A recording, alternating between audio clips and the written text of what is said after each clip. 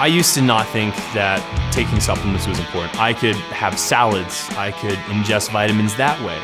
But you can't ingest the amount of vitamins and the variety of vitamins and minerals and nutrients that I need to stay healthy.